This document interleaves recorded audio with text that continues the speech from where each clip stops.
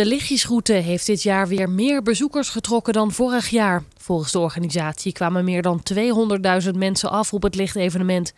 Zondagavond gingen de lampjes voor de laatste keer aan. De lichtjesroute start traditioneel op 18 september, de dag dat Eindhoven haar bevrijding viert van de Tweede Wereldoorlog in 1944. Vooral de fietsavond trok dit jaar weer veel publiek.